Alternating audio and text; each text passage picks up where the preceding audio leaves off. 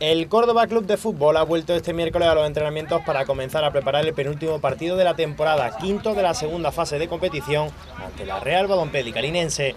El líder del grupo de los blanquiverdes recibirá ya con la permanencia asegurada en la primera red para el curso que viene al cuadro de Germán Crespo, al que solo le vale la victoria ante el equipo gibraltareño para llegar con alguna opción de salvación a la última jornada. Tamaraceite y Sevilla Atlético se enfrentarán en la mañana del domingo y en caso de victoria del filial sevillista, el Córdoba estará matemáticamente descendido antes de jugar su partido. Hacemos uh, errores individuales que nos costan y nosotros no nos vamos a rendir, vamos a seguir hasta, hasta el final.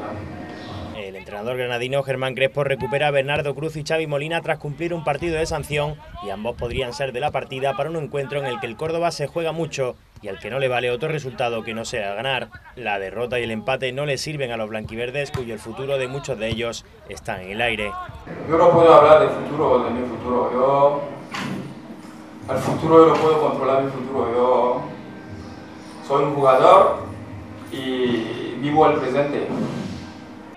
Pelear hasta el final es lo que quiere el Córdoba Club de Fútbol para seguir vivo en la competición, pese a que las sensaciones y los números le sitúan prácticamente en la cuarta categoría del fútbol español la próxima temporada.